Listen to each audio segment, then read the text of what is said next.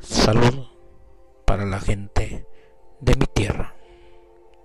En esta ocasión les hablaremos acerca de los pasos efectivos para prevenir diabetes, ya que la diabetes es una de las enfermedades que más ataca a nuestra comunidad latina.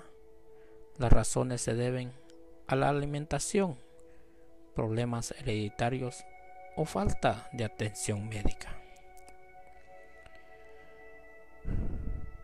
Por eso es importante que conozcamos los pasos para prevenir esta enfermedad.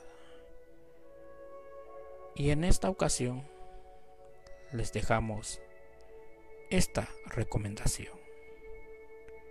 Dejar de fumar o alejarse del humo de segunda mano puede reducir el riesgo de padecer diabetes hasta en un 40%,